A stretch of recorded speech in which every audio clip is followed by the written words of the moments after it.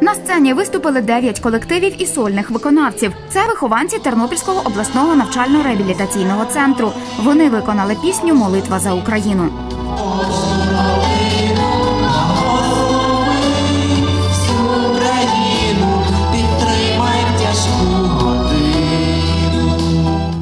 Молитва за Україну. Вона є досить емоційно важка. Ну тобто там немає якихось там нот дуже високих, але вона емоційно дуже важко сприймається. От перші рази було дуже важко її виконувати. Сьогодні я виступав на сцені, співав пісню Молитва за Україну. Я чекав, було багато репетицій.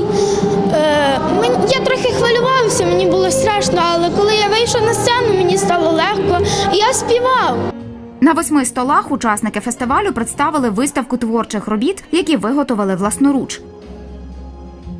Це моя композиція як е, на Різдво, як до Ісуса Христа е, приходить янгол. Зроблено в нас пластиліну з бльосток. е, Робив композицію я 5 годин.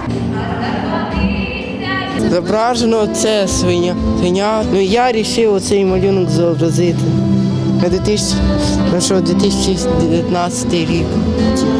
На фестивалі Наталя Томаш, фотограф із шестирічним досвідом, експонувала 32 портрети дітей з інвалідністю учасників фестивалю.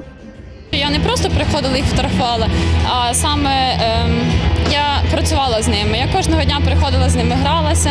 Я відчуваю майже кожну дитину. Я старалася таких дітей показати, яких я їх побачила. Я нюхала квіти, квітку.